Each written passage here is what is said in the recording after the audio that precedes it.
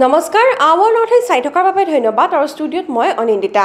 মাতাল ৰাজকন্যা বৰুৱাৰ দৰে কোনো লোকৰ দেহৰ ওপৰেৰে গাড়ী চলাই নগ'লেও শনিবাৰে মাজনিশা দুই সুৰামত্ত যুৱতীয়ে উদ্ভণ্ডালিৰে আৰক্ষী সাংবাদিক চিকিৎসক ৰোগীৰ আত্মীয় সকলোকে অতিষ্ঠ আৰু তীব্ৰ অসন্তুষ্ট কৰে। দুয়োগৰাকীয়ে ৰাজপথতে চলাই চৰম তাণ্ডৱ।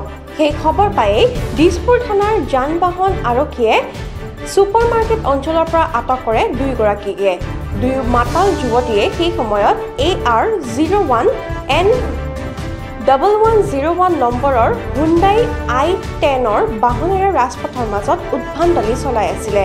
মাতাল যুৱতীয়ে আৰক্ষীয়ে দিছপুৰ থানালৈ নিয়াৰ পাছতেই তাতো উদ্ভণ্ডালি চলাবলৈ আৰম্ভ কৰে।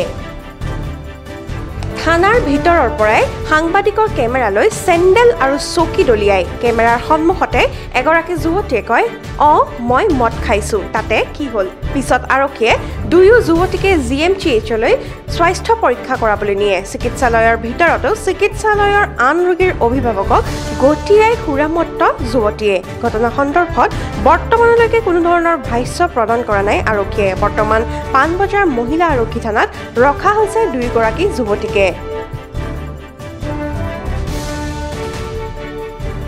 News desk report our North East